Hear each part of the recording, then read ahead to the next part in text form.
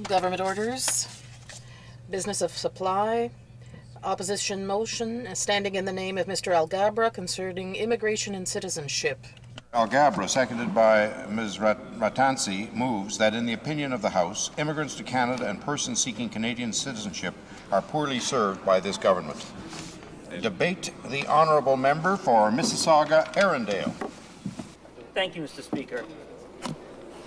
I stand before you today to express the concerns of Canadians about the direction, or more specifically, the lack of direction, that this Conservative government has taken towards helping immigrants and new Canadians reach their optimum potential in society.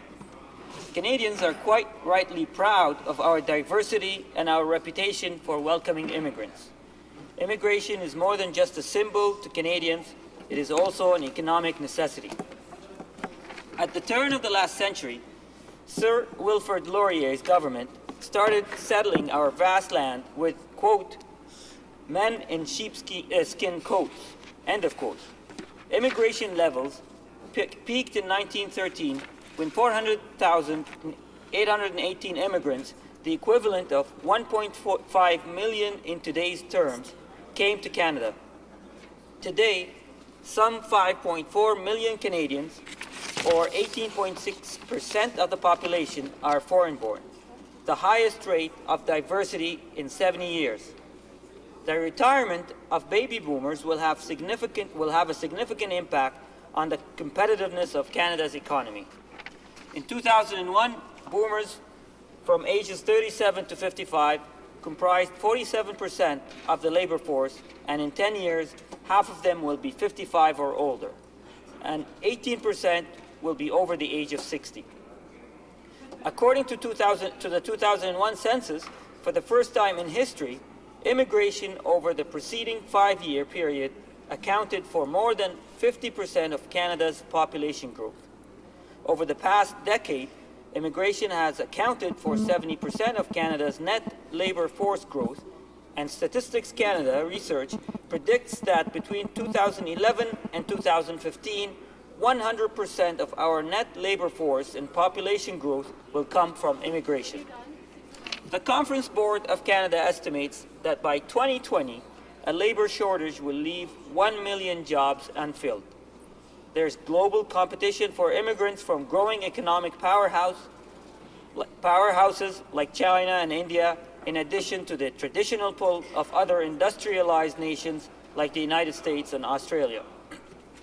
The benefit of immigration to a country is more than just economic. Immigrants bring diversity, vitality, and innovation to Canada.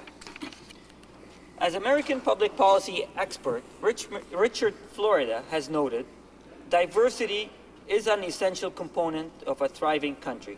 In short, over the next 10 years, the country that can best attract and integrate immigrants will have an advantage in the global race.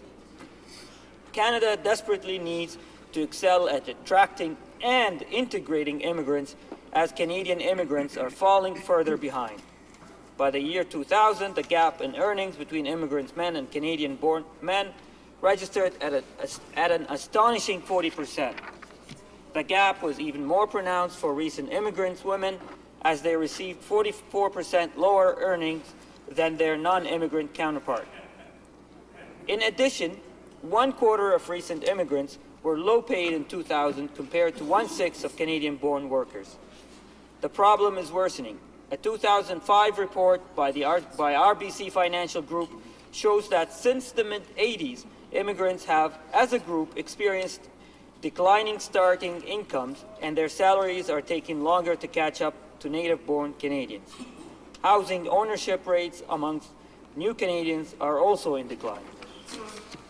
The Conference Board of Canada estimates the loss of income associated with unrecognized skills and credentials to be as high as $6 billion per year, half of which is uh, constituted by the lower earnings of foreign-born workers.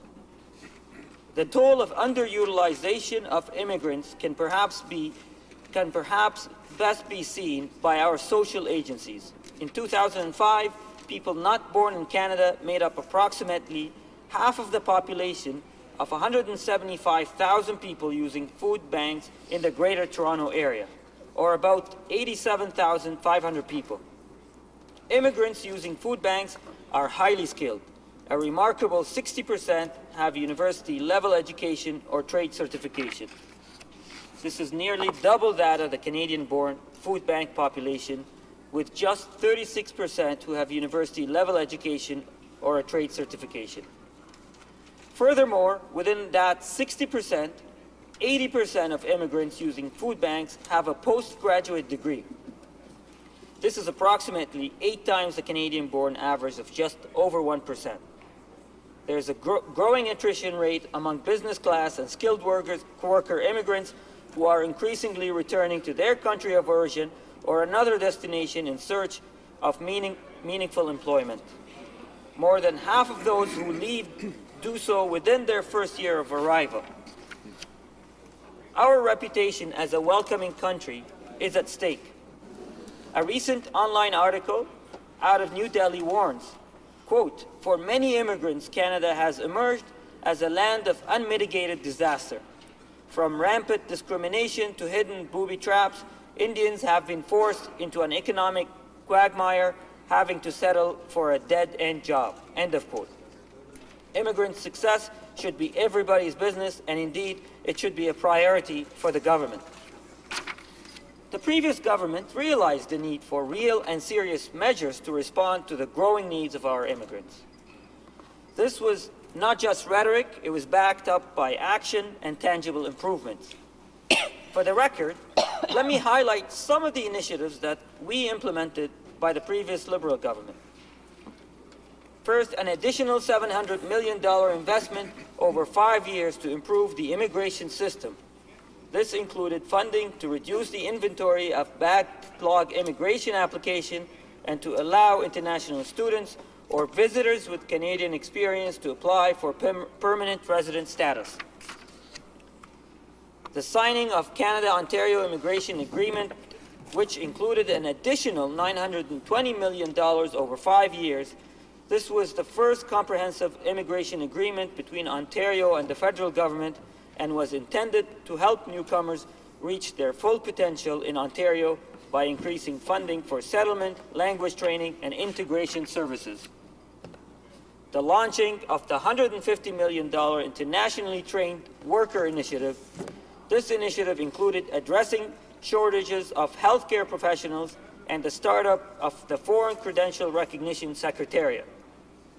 Introduction of measures to speed up the processing of sponsorship application for parents and grandparents, an additional $69 million investment over two years to process citizenship applications faster, a 20 million, a $20 million investment to conduct a review of the existing Citizenship Act, allowing spouses and common law partners of Canadian citizens and permanent residents regardless of their status, to remain in Canada while their immigration application is being considered, allowing international students to work off campus while enrolled at an eligible, eligible post-secondary education. Why did I mention all of that? Mr. Speaker, I wanted to illustrate that when a government identifies certain needs, it must act upon those needs. It derives a plan, it implements actual initiatives, it enacts concrete steps. Contrast that to what this minority conservative government has done. Imprisoned by their ideology, short on ideas, and void of a vision, they cancelled some of the previous initiatives and claimed to be a champion of immigration.